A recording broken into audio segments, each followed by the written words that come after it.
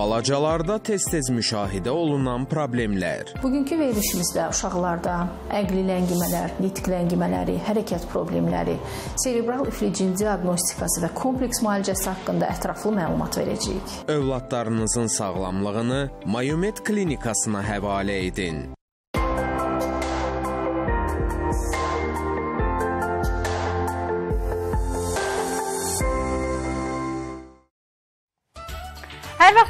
Olsun, ayrı izləyiciləri Yaşama Gözəldir efirinə başlayır. Bugün efirimizdə elə anonslarımızdan da gördüyünüz kimi uşaqların nevroloji statusunda olan bəzi dəyişikliklər və narahatlıqlardan danışacağıq. Valideynlərimiz diqqətli olsunlar, sual olan hər kəs efirimizdəki nömrələr vasitəsilə əlaqə saxlaya bilərlər.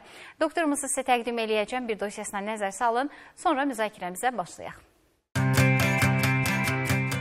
Uşaq nevroloqu Rəyanə Quluzadə 2 sentyabr 1980-ci ildə anadan olub.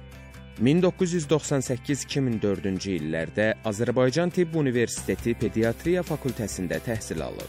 Azərbaycan Respublikası Səhiyyə Nazirliyi Sertifikasiya Komissiyasının Nevrologiya sertifikasiya şəhadətnaməsini alıb. Rusiya Tibb Akademiyasında diplomdan sonrakı Təhsil Akademiyası Neyrosonografiya və Rusiya Pediatriya Elmi Tədqiqat İnstitutunda serebral iflicli xəstələri botulinoterapiya müalicəsi kvalifikasiya artırma kursundan keçib.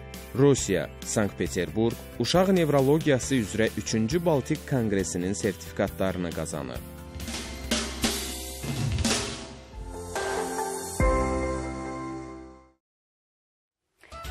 Xoş gəldiniz. Hər vaxtınız xeyir olsun. Ə, uşaq nevroloqları bu gün demək olar ki, valideynin ən çox müraciət etdiyi mütəxəssislərdən biridir. Çox da maraqlıdır ki, uşaqlarda niyə nevroloji xəstəliklər bu gün bu qədər çoxalıb? Yoxsa bu bizə mi elə gəlir? Aşkarlandığı üçünmü belədir? Niyə doktor? Ə, təşəkkür edirəm dəvət üçün. Biz Əlbəttə, ə, uşaq nevroloji problemləri həmişə aktualdır. Hı -hı. Çünki uşaqların sonrakı inkişafı, ə, onun davranışı, bunlar hamısı uşaqlıq dövründə təməli qoyulur və bu dövrdə valideynlərin gözündən nə isə qaçarsa, Hı -hı. vaxtında müraciət eləmərsə, yəni vaxtında müalicə olunmarsa, sonradan daha ciddi fəsadlara gətirir Hı -hı. və ə, şükürlər olsun ki, valideynlər son vaxtlar çox həssasdır bu mövzuda. E. Kiçik bir problem olduqda belə, nə isə gözlərinə bir narahat gör- göründükdə belə konsultasiyadan yayınmırlar. Bu çox gözəl bir haldır. Çünki uşaqların dediyim kimi e, ilk dövrlərdə, ilk 3 il ərzində e, müşahidə e, onlarda gedən dəyişikliklərin izlənilməsi çox vacibdir. Bəli. Niyə görə son vaxtlar artıb? Buna tam dəqiq cavab vermək mümkün deyil. Ola bilsin ki, burada perinatal faktorların rolu var, ekoloji faktorların rolu var, ananın qidalanmasının. Çünki uşağın təməli qoyulur ana bətnində və ananın inkişafından, ananın belə deyək, sağlamlığından birbaşa asılıdır. Yəni an- ananın qəbul etdiyi dərmanlar, özünün sağlamlığı, ekoloji mühit, hamiləlik necə keçib, infeksiya ilə təmasda olubmu? Məsələn, bu yaxınlarda belə bir hal baş vermişdi. Bir ciddi əqli problemləri olan uşaqların, uşağın müayinəsi nəticəsində biz çox araşdırdıq. Sonra da məlum oldu ki, ana hamiləliyin ilk 3 ayında çox ciddi baş ağrıları keçirdilmiş və çox ağır deməli iltihab əleyhi dərmanlar qəbul edilmiş və bunun fonunda da uşaqda belə deyək, müəyyən bir qüsurlar beyində formalaşıbmış. Çünki hamiləliyin ilk 3 ayı çox vacib dövrdür. Bəli. Burada bütün orqanların əsası formalaşır və bu dövrdə ginekoloqlar da tövsiyə edir. Mümkün Yəni qədər orqanizmin bünövrəsi qoyulur. Əlbəttə bünövrəsi qoyulur və bu dövrdə qəbul edilən dərman, ananın yəni hər hansı bir xəstəliyə tutulması, qrip infeksiya falan bunlar hamısı təsir eləyir. Doğuş prosesi özü də çox vacibdir. Bəli. Və İndi- hamilələrimizdə ən böyük yan, səhv yanaşmalardan biri odur ki, hamiləliyindən şübhələndiyi an dərhal həkimə getməzlər. Yəni tədbir görməzlər bununla bağlı. Niyəsə bizdə 3 aya, 4 aya qədər gözləmə deyə bir təəssüflər olsun, bir yanaşma var. Bəli, Halbuki çox önəmli perioddur ilk 3 ay. Əlbəttə. E, Və digər bir məsələ də doğuş prosesinin aparılması. Yəni Bəli. biz çox bunların fəsadını Travmalı görürük ki, doğuşlar. uşaqların travma ilə doğulması. Çünki travma ilə doğulan uşaqlar sonradan mütləq şəkildə müəyyən bir qüsurlarla qarşı-qarşıya qalırlar. Ən yüngül travma hallarında, yəni beynə qan sızmaların biz bilirik ki, 4 dərəcəsi var. Bu Bəli. birinci dərəcə, birinci, ikinci dərəcələrdə kis- e, qüsurlar çox kiçik olur, amma uşaqda artıq 3-cü, 4-cü dərəcəli beyin qansızmaları olub qıcılılıbsa çox ağır qüsur olur. Uşaqlar yeriyə bilmir, uda bilmir, ağır epilepsiyaları olur, qıcolmalar keçirdirlər, hərəkətləri tam məhdud olur bu uşaqların. Ona görə bu doğuş prosesinin də aparılması çox vacibdir. Genetik problemlərə mütləq toxunmaq istəyirəm, çünki qohum nigah problemləri hələ də davam eləyir. Nə qədər yəni bizim bu haqda danışmamıza baxmayaraq və biz çox nadir genetik xəstəlikləri görürük. Hansı ki, xarici ölkələrdə bunlar 10 mində, 100 mində birdir. Biz tez-tez görürük. Görülür, e, bu genetik xəstəliklər əlbəttə ki, qohum nigahlığın və bunların e, yaranma ehtimallarının tezləşməsi nəticəsində yaranır. və bilirsiniz ki, bir çox genetik xəstəliklərin demək olar ki, böyük bir hissəsinin e, yəni müalicəsi yoxdur. Yalnız bir neçə e, genetik xəstəliklər var ki, bunların gen tədavisi var, gen müalicəsi var və bunlar da çox baha başa gəlir, xarici ölkələrdədir. Bundan başqa metabolik problemlərə toxunmaq istəyirəm.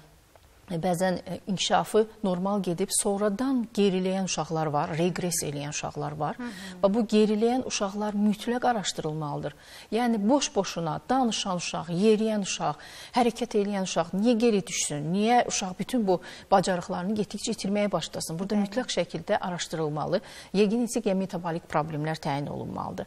Metabolik problemlərin də müalicəsi çox çətindir maalesef. Yəni e, burada xüsusi diyetaların təyin olunması, xüsusi dərmanlar var, bəzən xarici ölkələrə müraciət etməli oluruq.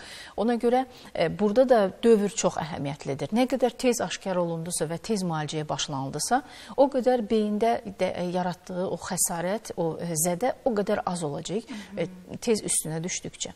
Və bu qrup xəstəliklərdən biri də elə serebral iflicdir, hansının ki də yenə də bu dediyim kimi doğuş travmalarına bağlı olan, gipoksiya, asfiksiya bağlı olan bir xəstəlikdir.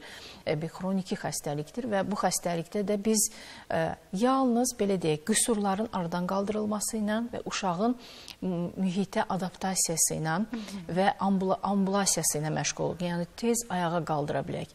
O uşaq özü-özünə qulluq eləyə bilsin, asılı olmasın heç kimdən. Doktor, əslində elə bura gəlmək istəyirəm. Çünki biz efir vasitəsilə çoxlu mütəxəssislərimizi dəvət eləyirik və efir vasitəsilə onlara bu müzakirələrimizi təqdim eləyirik və valideynlərimizin e, fikrində bəzi e, suallar yarana bilər ki, məsələn, defektoloq logopeddə gəlib eyni mövzunu danışır, nevroloq doktor da eyni mövzunu danışır. Yəni zəhmət olmasa bunu önəmini vurğulayaq. Çünki burada nevroloq öncəki şərtdir. Yəni birinci gedəcəkləri mütəxəssis əslində burada nevroloqlardır. Sonra logoped və defektoloqlardır. Çünki siz onlara artıq ehtiyac varsa göndəriş verəcəksiniz. Bəli. Onsuz da doktorlarımız, o mütəxəssislərimizlə danışanda doktorlarımızın, nevroloq doktorlarımızın önəmini vurğulayırlar. Amma nə zaman siz defektoloqlara qədər keşi görürsüz, nə zaman onlar korreksiya ilə məşğul olur? Bu xəstəlikdən xəstəliyə fərqlidir. Məsələn, elə bir problemlər var ki, uşaqların nitq inkişafında olan ləngimələr. Burada iki səbəb ola bilər. Birincisi, normal inkişaf edən uşaqdır. Hər şeyi başa düşür, əmrləri yerinə yetirir, özünü tanıyır, bütün bədən üzvlərini tanıyır, amma nitqi gec açılır. Ola bilsin uşaqla uzun müddət, belə deyək, ünsiyyət çox olmuyor və yaxud da uşaq özü danışmağa tənbəldir. Bəzən genetik səbəblər ola bilər amma dediyim şərtlər daxilində uşaq hər şeyi anlayır, e, əmrlərə icra eləyir və bu müddət ərzində e, belə deyək, biz ilkin başlayanda dərman tədavisinə başlamırıq. Biz e, psixoloji, logopedik işlər apararaq uşağın dilinin açılmağını gözləyirik. Bu sizin mərkəzinizdəmi? Bunlar hamısı mərkəzimizdə icra olunur. Deməli siz komanda şəklində fəaliyyət Əlbəttə ki, bu hamısı multidisiplinar komanda şəklində icra olunur. Amma ola bilər ki, uşağın nitqi də yoxdur. Eyni zamanda komandaları da anlamır. E, adını çağıranda anlamır, adını tanımır, özünü tanımır, bədən üzvlərini göstərə bilmir. Bu artıq problemdir və bunu araşdırmalıyıq. Nədir bu uşağın nitq inkişafının ləngiməsi? Səbəblər fərqli ola bilər. E, nitq mərkəzlərinin gec e, inkişafı ola bilər. E, e, gipoksiya perinatal patologiyaya bağlı olaraq beyin zədələnib gec inkişaf eləyir. Mikrosefali ola bilər, başı balacadır, inkişafı gec gedir. Bu səbəbdən bağlı ola bilər. Genetik xəstəliklər, dizmorfizmlər, beyində hər hansı bir qüsur var. Bu qüsurda zaten uşaq nitqi də geri olur, əqli də geri olur. Bax görürsüz nə qədər fərqli-fərqli səbəblərdir və bunun fonunda əlbəttə bəzilərində dərman müalicəsi üstəgəl logopedik psixoloji korreksiya koreksiya, bəzilərində heç dərmansız. Yəni burada yanaşmalar artıq uşağın problemindən asılı olaraq Hı -hı. seçiləcək və bu, ə, dediyimiz o komanda işində həm, həmçinin də belə deyək, uşağın ə, udma problemlərinin müalicəsi, ağız suyunun ə, müalicəsi, eyni zamanda fizioterapiya reabilitasiya müalicələri mütləq nəzərə alınmalıdır. Çünki bu multidisiplinar komandada uşağın belə deyək, məsələn, serebral iflic və hərəkətləri ləng gedən uşaqlarda, inkişafı ləng gedən, boynunu saxlaya bilməyən, otura bilməyən uşaqlarda belə deyək, səbəbdən asılı olmayaraq, zaten səbəb dərman müalicəsi ilə və yaxud digər yollarla müalicə olunur. Digər bir tərəfdə isə biz bu əzələləri, oynaqları hazır eləməliyik ki, o yeriməyə və yaxud əlini işlətməyə hazır olsun. Bunun üçün biz kənardan müdaxilələr eləyirik. Məsələn, uşaq əlini e, uzadıb nəyisə götürə bilmir. Əlində ya yüksək tonus var. Bunun üçün xüsusi müalicələr var. Tonusu azaltmaq, e, vətərləri açmaq, əlin gücünü artırmaq, iradə hərəkətlərə sövq etmək uşağı belə deyək. Və yaxud da ki, ayaqlarında yığılmalar var, e, sərbəst yeriyə bilmir, tez-tez yıxılır. Hı -hı. Belə deyək, və yaxud ataksiyası var, dəngəsizlik var uşaqda. Hı -hı. Bu uşaqlarda da xüsusi fizioterapevtik müalicələr, ayaq gücləndirmələr, əz əzələ gücləndirmələri, bəzən çox kiçik impuls E, belə deyək, elektrik stimulyasiyası əzələlərə lazım gəlir ki, onlar e, fəaliyyətini sür sürətləndirsin. Hı -hı. E, yəni xüsusi idman növləri, qəfəsdə fizioterapiya Hı -hı. istifadə edirik və bir də mən bir yenilik demək istəyirəm ki, mərkəzimizdə Amerikadan, e, bəli, Amerikadan gətirdiyimiz e, bir aparatdır hansı ki, bütün dünyada istifadə olunur. Bu beyin stimulyasiyası aparatıdır. Hı -hı autizm, e, diqqət yayınması, hiperaktivlik olan uşaqlar, nitq ləngiməsi olan uşaqlar, qavrama zəifliyi. Hal-hazırda monitorda gördüyünüzdür Bəli, bax bu aparat Aha. vasitəsilə biz e, deməli 2 elektrodu var. Bunu e, deməli e, xüsusi papaqla e, başın müxtəlif nahiyələrinə bu elektrodları yerləşdirməklə həmin hissələri seçici olaraq e, fəaliyyətini artıra bilirik. Hı -hı. Və burada bizim montaj seçimlərimiz var. Və yəni nitq ləngiməsi olan uşaqlarda xüsusi montajlar eləyirik, beynin xüsusi yerlərinə veririk. Qavrama problemi olana ayrı. Hətta təsəvvür edin, riyaziyyatı götürə bilməyən, belə deyək, riyaziyyatda zəif olan uşaqların ayrı bir nöqtələr var ki, oranı bir stimulyasiya eləyirik. Bəzən valideynlər bir problem olur. Davranış problemləri olan uşaqlarda, məsələn, özünü idarə eləyə bilməyən, impulsiv olan, çox əsəbi olan, bunlar üçün də xüsusi montajlar var ki, uşağı sakitləşdirə bilirik, davranışlarını yığışdıra bilirik. Hı -hı. Yəni bu dərmansız e, aparat terapiyasıdır. Çünki bəzən elə xəstəliklər var ki, orada e, dərmanlar əlavə fəsad yaradar, Bəli. problem yaradar və yaxud da ki, müvəqqəti təsir eləyər Bəli. və belə xəstələrimiz çox olur. Biz dərman müalicəsinə başlayırıq. Dərman müddətində uşaq yaxşıdır, sakitdir, dərman kəsiləndən sonra Hı -hı. yenə həmin o aqressiya, əsəb və s. olur.